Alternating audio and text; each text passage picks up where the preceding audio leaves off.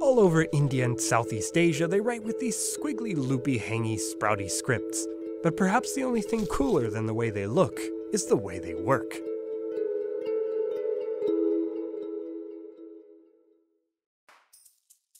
A spice market in India. The hooded figure in front of you apologizes for the kidnapping. He needs your help. He explains that his land has taken part in history's most elaborate and rigorous memorization exercises. Instead of scribes, they had recitations. These weren't retellings of campfire stories, these were whole libraries of knowledge handed down for generations. He says his name is Ashoka. This is his land, and he is king. After a bloody and violent war, he had a change of heart and now has but one singular focus to spread his message, a law of tolerance and compassion, throughout the land. But he doesn't want to use the mouth to ear memorization ways of the oral tradition. That's for old texts and old ideas. No, his vision is to install massive pillars around his empire, each one engraved with his list of edicts. This, he explains, is where you come in. See, he's been keeping tabs on you as you roam the land of the Semitic Abjads, and he really likes this crazy consonant alphabet idea. He'll take it. But he also appreciates the whimsical simplicity of accenting consonants with vowel marks. Oh, and he doesn't want to have to write the vowel if it's just a short uh. His language is full of those. So he'll write funnel something like this with these built in syllables. But wait, it's not funnel uh. That final ul isn't a separate syllable. He needs a way to write just bare consonants to tell his past apart from his pasta. How? With a simple hush stroke below the letter. Now, he brags to you, his system is complete. Make sure you don't miss the step he's taking here. It's a major moments in the history of writing.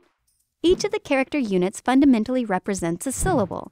It just so happens that unless the vowel in that syllable is a short ah, the vowel gets added onto, or below, or beside the consonant character.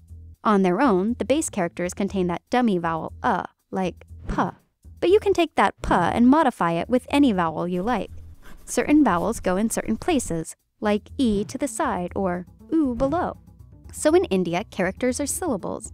But unlike a full syllabary, you don't need a completely separate character for each separate syllable. And all characters give consonant plus vowel information, but unlike a full alphabet, you don't line up sequences of consonants plus vowels, consonants plus vowels. The hybrid combination nature of this system earns it the name alpha syllabary. Combos are built into this system, paving the way for over a thousand ligatures, commonly linked characters, in the alpha syllabary. Sure, other writing systems developed ligatures in their calligraphy, but the Indic alpha syllabary welcomes them naturally. As it's passed all around this entire slice of the world, up to Nepal and Tibet, down the coast to Burma, Thailand, Laos, Cambodia, and beyond, this script keeps updating its look, but continues to capture consonants and vowels accurately, like an alphabet, and to write those voweled consonants in syllable units, like a syllabary. Even completely unrelated alpha syllabaries seize on this same idea. This is the Ethiopic symbol for ma. This one reads me. And this is mu. This is la, le, and lu. Now that you understand alpha syllabaries, you must answer this next question. If this symbol sounds like ba, how do you write be and bu in Ethiopia? This is your Ge'ez ABCDs, the Abugida.